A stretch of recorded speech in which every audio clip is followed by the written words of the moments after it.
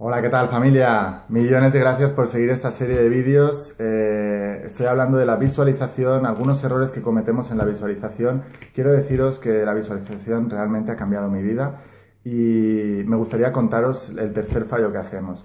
Eh, normalmente las personas no incluyen a terceras personas dentro de su visualización. Em, para que nuestro cerebro no sospeche, normalmente nosotros estamos interactuando.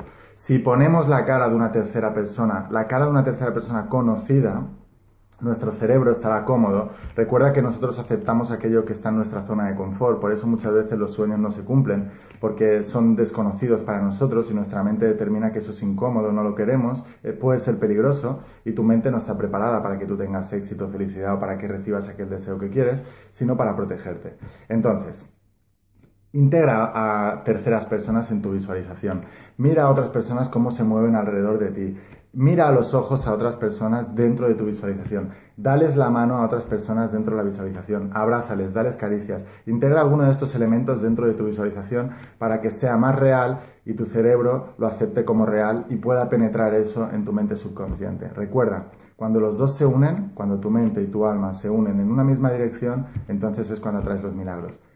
Mm, pon terceras personas en tu visualización y cuéntame el milagro. Recuerda, si quieres adquirir el libro La voz de tu alma, puedes hacer clic aquí en este enlace y irás directamente a la página web del, del libro. Millones de gracias, que pases un día maravilloso. Espera los milagros.